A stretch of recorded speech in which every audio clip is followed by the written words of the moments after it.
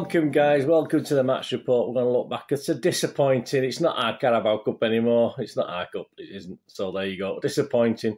Uh, West Ham nil, City nil, but a five-three win for the Hammers. On we didn't even get to take our last penalty. How embarrassing is that?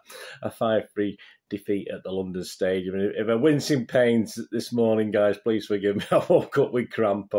Twelve hours on a, in a car and a coach yesterday there and back. It was. I was I'm too old. I'm too old for this.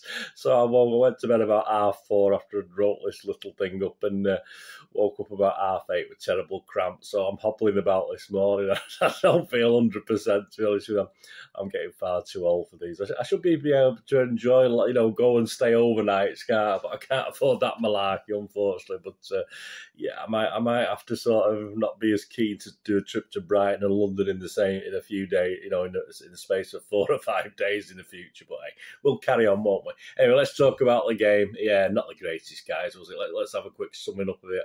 I've not had a chance to watch it back, but I got quite a good view in the stadium, and I, I was quite impressed actually with the view. I'm not impressed with the stadium, is it? The layout, etc. I've never never been to the London Stadium before, but I was quite happy with my view. Actually, you'll see some images coming up. I, I could see everything that was going on, which is more I could say than for Brighton last week, and I was right behind the goal. So and even at the Etihad, I struggled to see everything that's going on, even even in my position in, in the singing section. So hey, there you go. It wasn't that bad. The City lineup, yeah, I got ten right. I was quite happy with that. It was just uh, KDB for Jesus surprised me. I didn't think KDB would play, but perhaps yeah, he did need minutes in his legs, didn't he? He did need some sort of form finding. It didn't really help last night, did he? But hey, there you go. Uh, Steffen Walker, Stones, Aké Zinchenko, Ferner, Palmer, Gundogan, Sterling. KDB Amaras. The West Ham team, I don't think it was their strongest. I've not had a quick look, guys. I please I apologise whether it's how different it was to their normal eleven, if you like, but it certainly wasn't the strongest, was it? Areola, Johnson, Dawson, Diop, Cresswell, Masuaku, uh, Suke, uh, Noble, Lanzini, Vlasic, and Yarmolenko. Yeah, I think that's it. That's it pronounce those right. Who was in charge? Of course, Mr. John Moss, as useless as ever. His Lionel's Mark Perry and Timothy Wood. I think they did a fair enough job. And the fourth official was Andre Marriner. Yeah, on to the match report. Just a quick summing up. As I say, I'm not going to, no, no goals to talk about. It's, yeah, Carabao Cup ends after what many years? Seems like it seems like lots of years, doesn't it? Uh, a fairly sadly, I mean, it was against. I thought it was a fairly average West Ham team, and they certainly played like a fairly average West Ham team. There's nothing in that team that really impressed me that much. Um, probably only two. So, say of our team, our starting eleven, just two guys who you'd expect in our strongest team. So basically nine. You know, I'm not going to say second raters, but obviously of that team, there's only perhaps two who would normally start in our best best team with our squad. So, yeah, and the thing is old ghosts, wasn't it? Old ghosts dropping up a poor finishing uh, and some okay keeping. Yeah, I, I don't think it's spectacular. Some of the saves the keeper made, Oriola, whatever, whatever his name is, Oreo or whatever he's called, uh, chocolate biscuit. Uh, made some good saves, but not fantastic saves. A lot of the stuff was quite uh, savable, if you know what I mean. Uh, it's always going to be a loss when it gets to penalties, of course, and uh, the one that Foden missed was the only one either team missed, of course, and uh, it didn't help when we took off probably, possibly two of our sort of shoeing for penalties, was it KDB and Mahrez? But obviously Pep didn't didn't think it would go to penalties. I think most of us in the stand thought this is going to go to penalties, but Pep gambled on the on the on the chance that we would finish this off in normal time, and unfortunately we didn't. Uh, I think the shootout was the only time the West Ham fans got uh, got uh, animated. I thought they were very poor generally. Uh, there's a few fans, obviously, either side of the uh, of us, uh, mainly in the bottom tier and the top tier, sort of giving it out. But uh, I thought they were quite pathetic. It was quid, kids for a quid, wasn't it? But the atmosphere was a bit tame, uh, very disappointing but they did manage to get behind the team with booze, etc. When it came to the penalty shootout, but that was the most we'd heard from them all match, to be honest with you. Uh, yeah, in the in the match itself, City culprits. There's quite a few on in front of goal. Aké perhaps should have done better with a header. Uh, he certainly had, had the goal to aim at, and he just headed it wide, didn't he? Uh, Sterling again doesn't know what to do uh, when he's in the box. He gets in the great positions, doesn't know what to do with it, whether to shoot a pass, and if trouble is he delays it that long, we lose the, the possibilities. Uh, Gundogan should have hit the target at least from an angle. Uh, he's running in all right. He's got to put it wide of the keeper, but at least hit the target. He put, he put it wide. Uh, Stones as well, uh, good header, a good header, but uh, obviously didn't give keeper Areola, isn't it? Areola enough to do.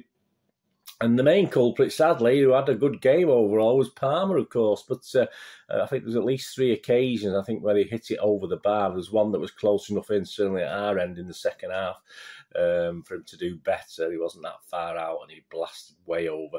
Um, but you can't blame, can't really blame him, can we? When when those are, are more experienced around him and not are letting us down and not putting it in the net. So I'm not going to blame Palmer for, for one iota. Uh, West Ham had half chances, of course, probably four or three or four half chances, shots from a little bit of distance, but on the balance of play.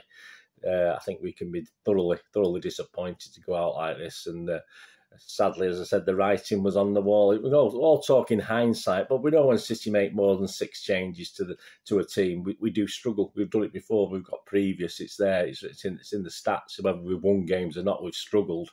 Uh, and against a, a, good team like West Ham, even though they perhaps weren't the strongest, uh, yeah, we struggled. We made nine changes from from the last game.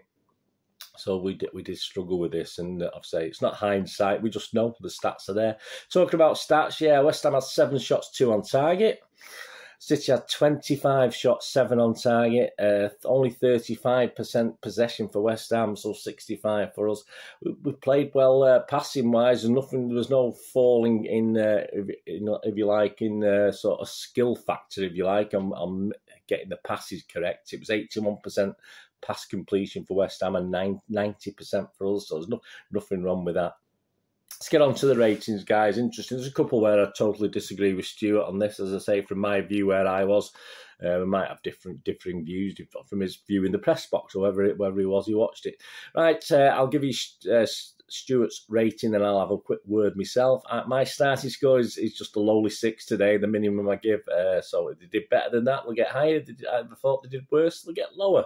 If they did okay, they'll get a six. Right, we'll start with Zack Steffen. Stuart says, alert to Palmway, a stinging noble shot. Could have, could have done better with that, to be honest with you. And no major alarms in passing it around at the back. So Stuart's given him a six. Yeah, I'd give him a six. He was competent, uh, rarely troubled, to be honest with you. But uh, I think there's perhaps one of the penalties he could have saved, but I will give him a six anyway. Kyle Walker linked up with Mahrez, says Stuart, and overlapped a couple of times, but it all looked a bit half-hearted. It did, as as did the team sometimes, or both teams. In, in all fairness, yeah, he's given a six. I'd give I'd give Kyle a six as well. Not really needed defensively. We didn't really need to utilise his uh, pace too much, but uh, certainly wasn't our best going forward. You know, there's lots of things where he could have perhaps done a better ball. So, but I will give him a standard six, just just average. Uh, John Stone Stuart says can't do any more than this kind of solid, assured defending coupled with slick, precise passing. Yeah, it's one of the good things to come out of the game. I like Stones. I mean, I'd be quite happy if he's put back alongside Diaz in our main team. Stuart's given me seven again, I give him a seven. I think he did everything asked in a quite a rare start. Don't forget, he's not started many games, has he? So I was uh, happy with John Stones last night. Nathan Aké doesn't have the solid presence of Diaz, says Stuart, or the build-up of Stones and Laporte. So he's given a six. Yeah, uh, yeah, I've, I've given him a six. Uh, did nothing wrong that I could see. I'm not going to have a down on Aké. I thought he played uh, quite well with him with what we had, apart from that header, uh, which he could have been a hero, couldn't he? And he would have been more than six out of ten. But I'll I'll give him a six as a reasonable Stones partner on the night against a pretty a pretty ineffective West Ham strike force. To be honest with you. Uh, Alex Zinchenko, great block on Yarmolenko's shot, capped a very assured return to Stuart, a return to action. So he's given a seven. Yeah, he's been kind. I've given him six point five. He's certainly better than the average. Very satisfactory considering he doesn't he doesn't get many chances. And uh, uh, I did notice one or two minor mistakes, but you know, as I say, he's not been playing that much, has he? So I'll give him a nice six point five, a little bit better. Uh, Furner rolled back the years by giving City a firm foundation, says Stuart, sniffing out trouble repeatedly. Stuart's given an eight. Yeah, he's gone mad. Yeah, I, I will give him a seven. I'll give him a high score, which is one of my highest scores today. He did command that middle, uh, middle, and uh, West. Well, West Ham had little couldn't really cope uh, in the middle. They had nothing to compete with him. They didn't have their own guy up there. They didn't have anyone who could battle away. And he, he did a, a, very competent job, didn't he? Which is what we'd expect from Ferner. Gundogan did more than most to get the Blues rumbling, but his shooting boots deserted him. Yes, you just give him a seven. I'm not going as high as that. Uh, I thought guy with his experience, he's the sort of guys in these games that I want to step up and perhaps get a goal or two, uh, and he did because we know he can. Um, he, he, was all right. Don't get me wrong, but I mean, I will give him the standard six. I just thought he was okay uh, without being anything spectacular. Say we need players like Gundogan and all our experienced players to step up in these games, and he didn't, he didn't quite do it. All right, he's got a different nine or ten players around him, but uh, yeah, not not quite for me. Uh, on to Kevin De Bruyne. Stuart says always involved, but the fine margins are not his friend at the moment. Nothing came off. Well, I think one or two things probably came off. But Stuart's given a five. I've I've echoed that. I think it was a five. It was a unexpected start, but yes, he probably does need time because he's not really finding it at the moment, is he? So uh, obviously Pep's trying to play him into form. Unfortunately, he's not playing into form. It ain't working yet. But uh, again, it was uh, another very poor performance. Even his corners were poor when he was forced to take a corner when like uh, other players who normally do weren't on the pitch. So yeah, I'd have to echo the five as one of our worst players, unfortunately. Uh, not for the first time in the last few games. Uh, Riyad Mahrez, one of those nights, says Stuart, when nothing came off for him. It certainly didn't. The crosses hit the first man, the shots were sliced. Stuart's given him a five. I'd have to echo that again. Again, you get these sort of performances with Mahrez, you, you sort of borderline say he can't be bothered. Uh, I don't want to say that about anybody. But uh, yeah, he didn't. There was two chances to get shots away. He didn't. Chances to get crosses in when he didn't. And sometimes when he crossed, it was too long tepid, tepid stuff, I'd say, from Mahrez last night. as I say, to me, he's not in our best starting 11, and displays like that last night won't do him any favours. Cole Palmer, Stuart said, ballooned his big chance over the bar. Yeah, I think he's talking about one in the second half. I think he, he missed another couple of chances as well, a bit from distance. But some of his link up play was superb. It was, and he grew into the game. So Stuart's given him a seven. Ah, yeah, I've echoed that. I give him a seven. Uh, sadly, that calmness that we saw uh, in the Champions League in front of goal totally deserted him. He snatched at chances, unfortunately. But uh, as far as creativity is concerned, right, he lost the ball a few times, but he was one of our most creative players on the night. So he's well worth a seven for me, a seven out of ten. And I say, not not not not the finished article by any means, but he got a long way to go. But yeah, he did okay, the lad. Uh, Ryan Sterling Stuart said repeatedly got into great positions, started to make them count. Teed up Palmer for the big chance, started to make them count. Stuart's giving seven.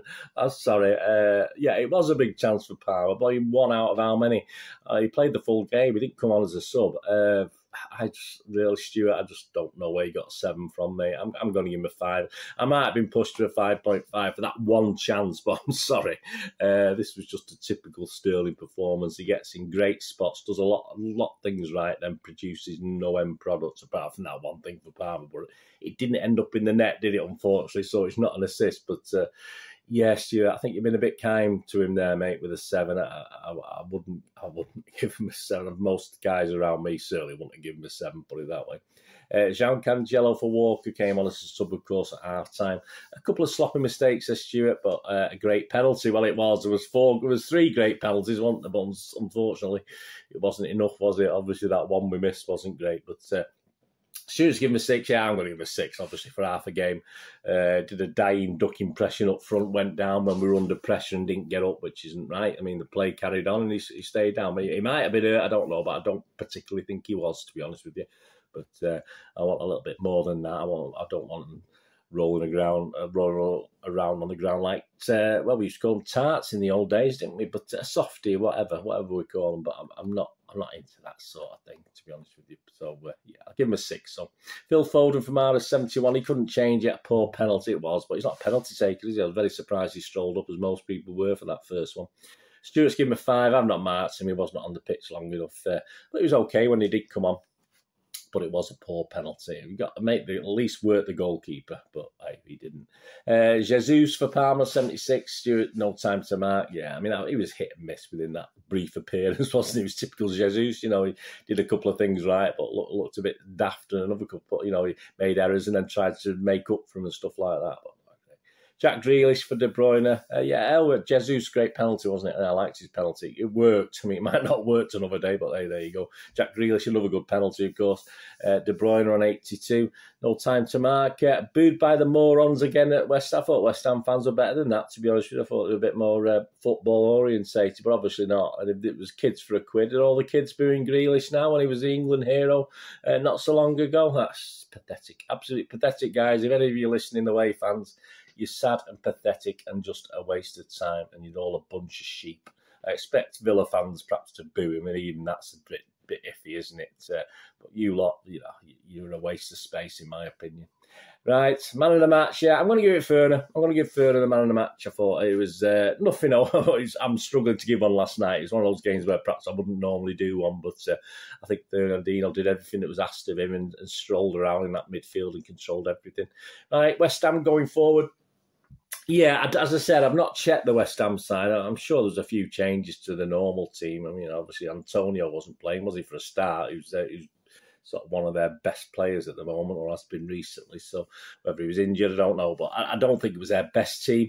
Uh, and to be honest with you, to be kind to them, I think they were playing for penalties from the get go. I just I thought they were quite happy to keep it draw it out. The ref was uh, the ref the the keeper was wasting time from early doors like like they do against us. Uh, but all credit to them, five penalties, five penalties scored. You can't do more than that, can you, as a team in a penalty shootout against City, even though we've not got the greatest reputation, do have a good record in penalty shootouts over recent years, so that's not too bad. I mean, they're currently top four. As I said, I'm not going to base too much on that performance last night, but uh, uh, I don't, I can't see anything. I can't see them finishing top four. I just, I think they're doing very, very well at the moment, and uh, they will need a little bit of luck in the cup to progress because there's certainly two or three better teams than them still left in the competition. But it's a great chance for them to do that. They'll have an okay season and I'm sure the side is better when we play there in the in the Premier when we play them in the Premier League. I'm sure it'll be a, far, a far better side. But then then again, so will ours. But uh, there you go. I, they were a bit a bit negative. I thought tonight, a bit a bit apprehensive. They didn't go for it. They just sat sat back and sort of tried to soak it up, and, and they did because we didn't do we did put it in the net, did we? But uh,